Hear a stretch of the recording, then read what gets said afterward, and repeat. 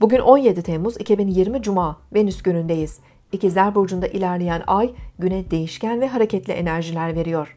Sabah erken saatlerde ay Koç burcundaki Mars'la uyumlu açı yapacak. Enerji ve motivasyonumuz güçlü bir şekilde güne başlayabiliriz.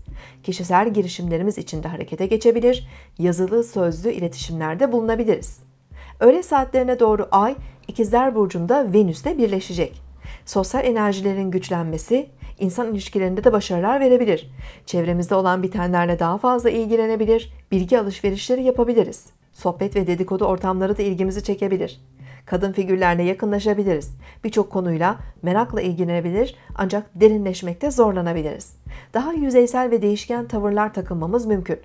Kısa gezi ve seyahatler, ticari faaliyetler, zihinsel etkinlikler için öğle saatlerini değerlendirebiliriz. İkizler Burcu'nda ilerleyen ay akşam saatlerinde Balık Burcu'ndaki Neptün'le dik açı yapacak. Hayal gücümüzün ve yaratıcılığımızın güçleneceği gece saatlerinde maneviyat ve sanatsal faaliyetler ilgi alanımıza girebilir. Detayları gözden kaçırabilir, dalgınlık ve unutkanlık gibi durumlar yaşayabiliriz. Kendi iç dünyamıza yönelip tefekkür etmek için gece saatlerini değerlendirebiliriz.